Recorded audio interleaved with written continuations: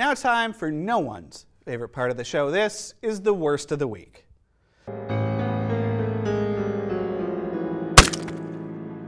This week's worst of the week comes to us courtesy of a local Minnesota flea market. Yes, yes, I flea market a lot.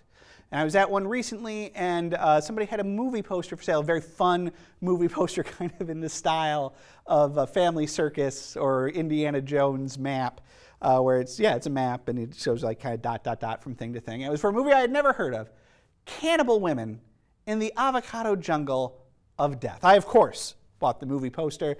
And then I looked online. Sure enough, the thing was free to watch online, so I thought I would give it a go. Now, the movie is like this is like the epitome of a USA Up All Night movie. And if you remember USA Up All Night, you know what I mean. I think you do. It, it's also a very tongue-in-cheek movie. It's a, attempting to be sort of an Amazon Women on the Moon sort of a movie. Now, if you remember Amazon Women on the Moon, you might remember that Amazon Women on the Moon is not a very good movie and neither is Cannibal Women in the Avocado Jungle of Death. The plot, such as it is, is that Shannon Tweed is a uh, feminist uh, film professor, and she finds out that her like uh, mentor has gone missing in said Avocado Jungle of Death, and so she, with a sidekick, a lady sidekick, and then her ex-boyfriend Bill Maher, playing a, uh, a chauvinist pig-type character, with you know, so real far off the mark uh, they go deep into the jungle to try and find said mentor, played by Adrienne Barbeau. This movie it has it could have been fun, and it has its fun moments. You know, there's some fun silliness to be had here.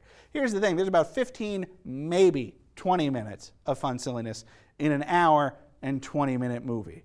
So you know, woof, that's a that's a toughie.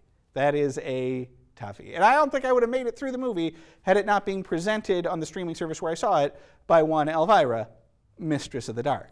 However, as stands, like, yeah, it's, you know, it's too much movie. It's just way too much movie. And as a result, it gets very boring and all feels very cheap. Uh, it's certainly exploitive, but that's not necessarily a deal breaker.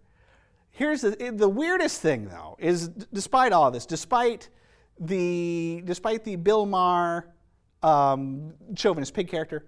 Despite the lady sidekick character being very much a, and I'm sorry to use the word, but I think it's appropriate here, a very stereotypical sort of bimbo character, this movie might have a feminist message in it because it does become very much about self-determination. And even though Shannon Tweed is trying to convince her sidekick throughout about the, you know, the, you know, the importance of feminism, she has to admit by the end of it that, you know, that she should pursue the life she wants to pursue, and that in his own way is feminist, and that is difficult to argue. So, like, there might be a good message somewhere in the core of this. It's hard to tell. It's almost as if it, it did so despite itself, which is weird. Cannibal women in the avocado jungle of death. Two stars.